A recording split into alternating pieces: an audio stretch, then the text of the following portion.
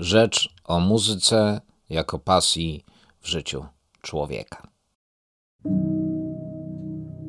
Kiedy człowiek przychodzi na świat, wydaje z siebie dźwięki, słyszy dźwięki otoczenia i już, mimo tego, że nie artykułuje wyrazów, komunikuje się ze światem.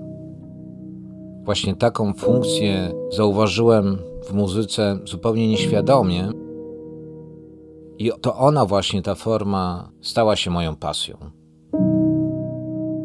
Słowa Tomka Kubika w wieku lat dziesięciu. Muzyka jest miłością, miłość jest słowem. Kiedy słuchasz, zostaw drzwi uchylone. Ona przyjdzie sama.